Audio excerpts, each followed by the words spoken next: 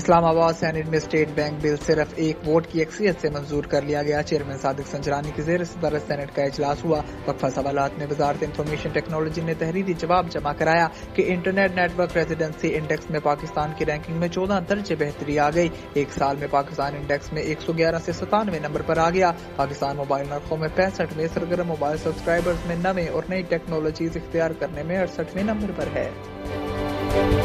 वज़ीर इतलात फवाद चौधरी का कहना है कि स्टेट बैंक तरमीमी बिल की मंजूरी में साथ देने पर यूसुफ रजा गिलानी और पीपल्स पार्टी के शुक्रगुजार हैं। उम्मीद है इस बड़ी शिकस्त के बाद अपोजिशन के कुछ दिन आराम से गुजरेंगे। सैनिट में स्टेट बैंक तरमीमी बिल मंजूर होने के बाद अपने ट्वीट में वज़ीर इतलात फवाद चौधरी ने कहा कि हुकूमत ने साबित किया है कि तमाम जमातें मिलकर भी एक इमरान खान के आगे ढेर हैं। अल्लाह की मदद शामिल हार रही तो इनशाला कामयाबियों का सफ़र रुकने वाला नहीं।